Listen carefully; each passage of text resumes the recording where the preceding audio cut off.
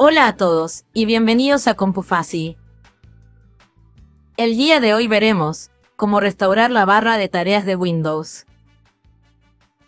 Como pueden ver, mi barra de tareas está a un costado de la pantalla, y claro, esto puede ser muy molesto si ya nos acostumbramos a su posición natural.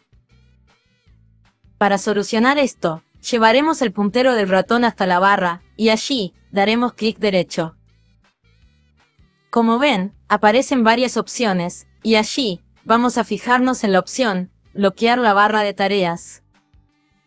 Si como en mi caso, tiene un aspa a su costado, daremos clic izquierdo para quitar el aspa, y en caso que tú no tengas el aspa puesta, lo dejarás así.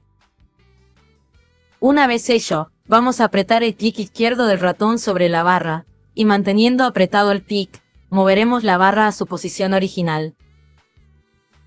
Como pueden ver, podemos mover la barra a donde queramos, pero en mi caso, la pondré abajo. Una vez que la barra esté abajo, daremos clic derecho a la barra y activaremos el aspa. Y listo, ahora la barra ya está en su sitio otra vez y ya no se moverá de allí. Y bueno, si te sirvió este vídeo, no olvides dar clic al botón de me gusta y de suscribirte al canal. Espero haberte ayudado. Nos vemos.